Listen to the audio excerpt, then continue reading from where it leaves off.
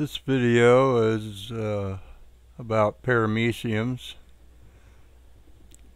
I'm using a uh, 100x bright field type Nikon plan achromat lens on a Nikon Fluophot scope and I'm using a 1.40 NA condenser opened wide open for maximum detail.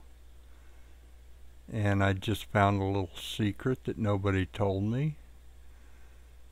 Uh, normally if you open the aperture like this in the field in the field uh, aperture iris is uh, open quite a bit. What you'll get is almost zero detail So just fiddling around. A few minutes ago I closed the uh, iris on the field lens and voila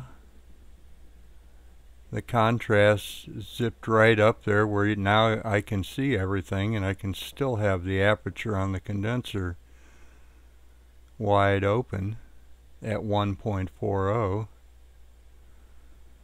for maximum detail from the condenser. So basically this is this is a test video using this 100x plan achromat lens and wow look at the detail you can see that the water must be going bad in the jar because they have uric crystals inside their bodies forming. That usually means the water's getting old. I'll have to change it. I've kept these guys alive for six weeks in a jar, or seven weeks now. And you can see, easily see the trichocysts inside the cell wall.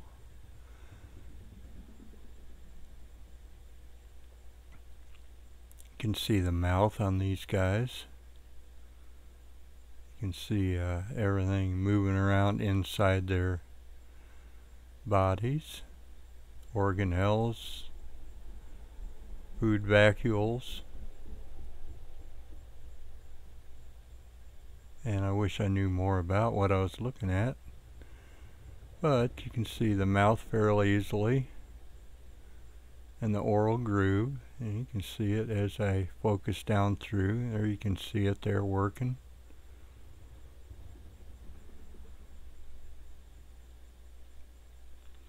And he's conveniently turning side on so we can see it better.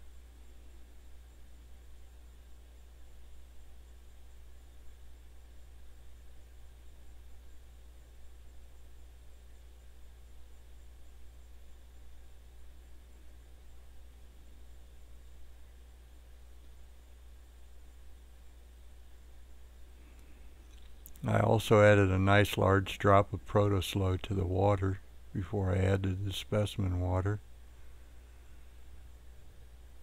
Then I put the uh, cover slip over it and focused on an area on the slide with a 40x and then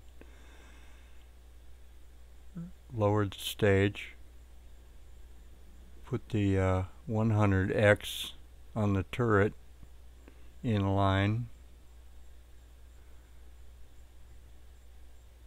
and then uh, turned it off center a little bit and put a drop of uh, protos uh, put a drop of oil immersion oil on the uh, top of the cover slip where the bright spot of the uh,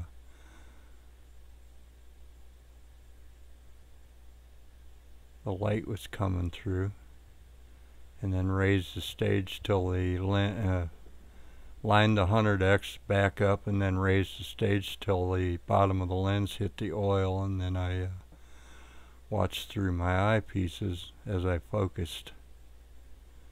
So I don't crack the uh, cover slip which I've done many times. Here you can see the grooves and lines of the uh, cilia. Those dots were the cilia looking down from the top.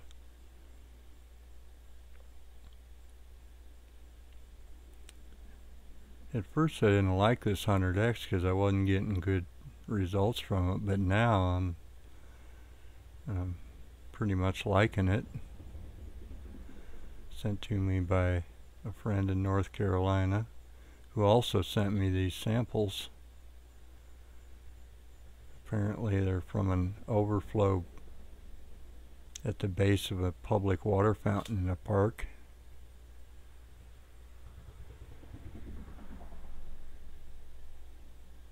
Not, by the way, the water you drink. Uh, the stuff around these things is just the, some of the scum that here you can see I'm uh, opening and closing the field aperture just to give you an idea of how that changes the contrast there. See this is opening it and see how you just lose the contrast. It's just Now I'm closing it and the contrast jumps out at you. I guess when it was open you there was still contrast but you had to it narrowed the uh, plane of the focus so much that it just uh, you weren't seeing what you were supposed to see or what I like to see anyways the Protoslo seems to be doing its job here.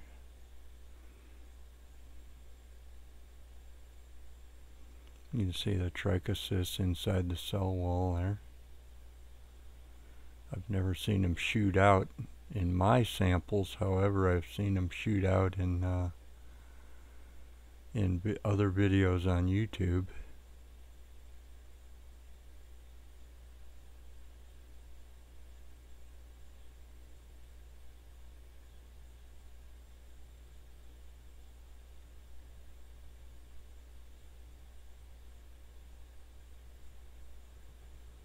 So he's taking a nap. Ah, there he is, waking up.